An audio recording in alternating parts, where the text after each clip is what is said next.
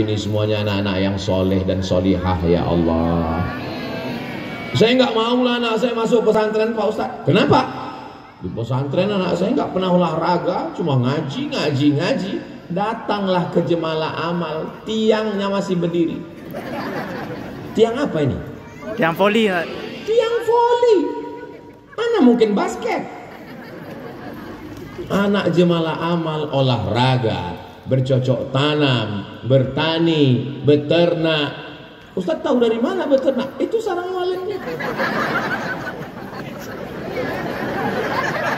Saudara yang dimuliakan Allah Subhanahu wa taala, pondok pesantren ini sudah lama berdiri, alumninya sudah kelihatan, maka jangan sampai kita seperti ayam mati di lumbung padi. Kenapa ayam mati di lumbung padi?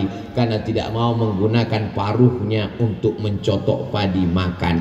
Jadi kalau ada orang sekitar ma'had dayah jemalah amal, anaknya tidak tahu mengaji, tak bisa baca kitab, tidak tahu nahu, tidak tahu sorab, tidak berbakti kepada orang tua. Itulah orang yang paling rugi. Betul?